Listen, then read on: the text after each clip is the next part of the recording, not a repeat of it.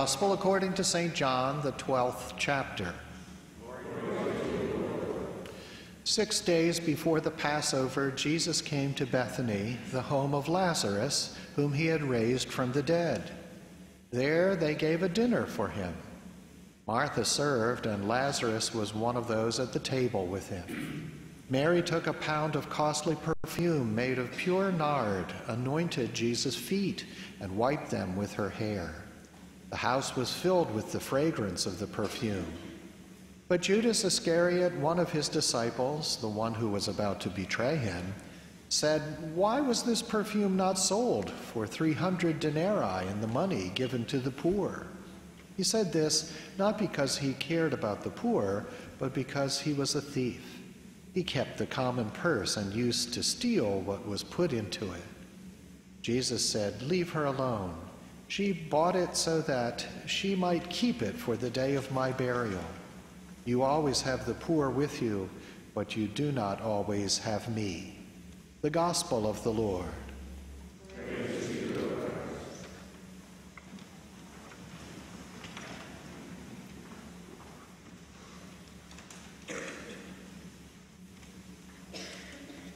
I want to know Christ and the power of his resurrection and the sharing of his sufferings by becoming like him in his death, if somehow I may attain the resurrection from the dead. Grace to you and peace from God our Father and our Lord and Savior Jesus Christ.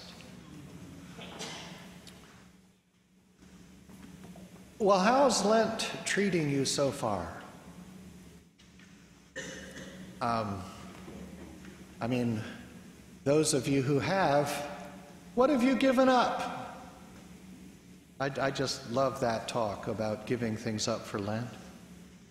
Was it a bad habit? Was it something you should be working on all the time anyway?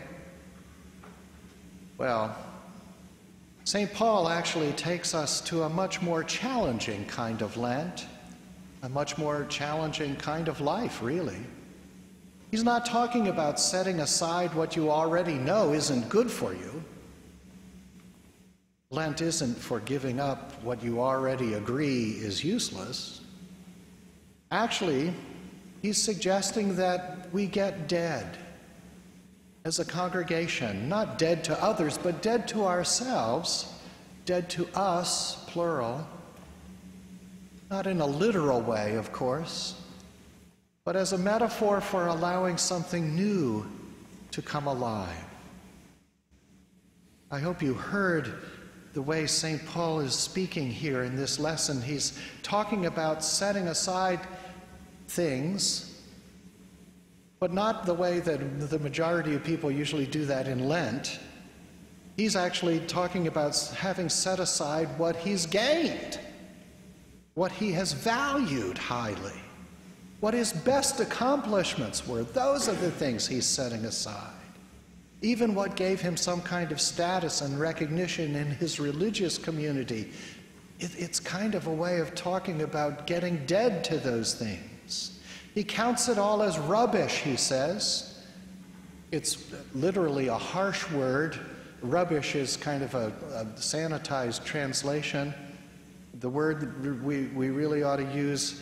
Uh, ought to be the one you say when you drop the noodles. Huh?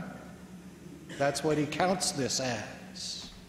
Paul doesn't apologize for being blameless under the law. He doesn't say that he's sorry for being born into the favored tribe of Benjamin.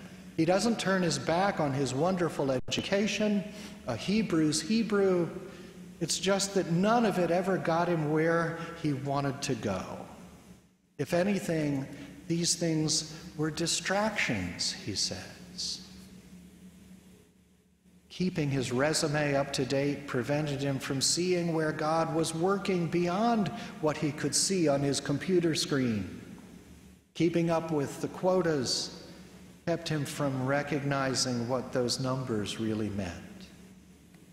When all was said and done, Paul was on his way to Damascus to show off his total zeal for God but God grabbed hold of him and sat him down and gave him a three day timeout to rethink the whole thing. And that's what we get each Lent at the very end. A holy week and a three day time out to rethink the whole thing, a time to put our congregation's accomplishments aside, a time to check any possible self righteousness at the door, a time to see where God is working outside our normal expectations, a time to realize that our preoccupations with just being here may very well be the same things that are keeping us from doing what we're called to do. Those three days for Paul may very well have been his three days in a spiritual grave. It was a time of total loss. It was his time to be, to be dead, dead to himself. Dead to all that had brought him status with God and others, dead to all that stood in the way of gaining Christ and the power of his resurrection. But Paul came out the other side, re- realizing that he didn't have a righteousness of his own, which came from his accomplishments, but rather one which comes, he says, through faith in Christ, the righteousness from God based on faith. But here's the thing when Paul talks about faith in Christ, those same words can also mean the faith of Christ. One way, it sounds like what Paul is doing. One more piece of his resume, one more credential. Paul of Tarsus, true believer. Yay, you know? But those same words also mean through the faith of Christ. So maybe the whole thing is not about how much we believe in Jesus, but maybe how much Christ believes in us. Paul is talking to a congregation here, a group of people, we, plural. Believing in Jesus is not a bad thing at all, but it can be deadly.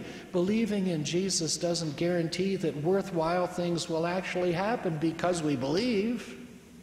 There are thousands of believers in Jesus who never get anything done for the sake of the gospel.